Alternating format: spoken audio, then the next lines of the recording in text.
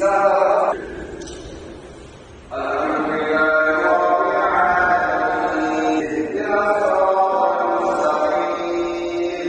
belangrijk grondrecht is natuurlijk gelijkheid van burgers, ook van moslims en niet-moslims, en de vrijheid van religie. Uh, en het is zo dat die vrijheid van religie voor moslims in Nederland eigenlijk te vaak onder druk staat. Uh, doordat er bijvoorbeeld uh, agressieve acties worden ondernomen tegen moskeeën.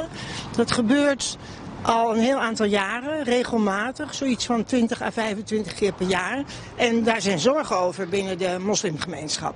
Uh, en het doel is om, uh, ja, om de, uh, zeg maar te zorgen dat er misschien een eind aan komt daaraan, aan die daden van agressie, dat het helemaal wegblijft. Dus we willen de politiek ook met deze informatie waarschuwen en hopen dat ze iets gaan ondernemen.